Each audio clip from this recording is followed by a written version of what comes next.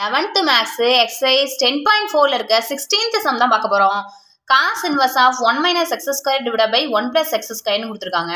அப்போ Y gold இந்த எடுத்துக்கோமா இப்போ என்ன கண்டுபிடிக்கணும்? டிஒய் பை டிஎக்ஸ் கண்டுபிடிக்கணும்.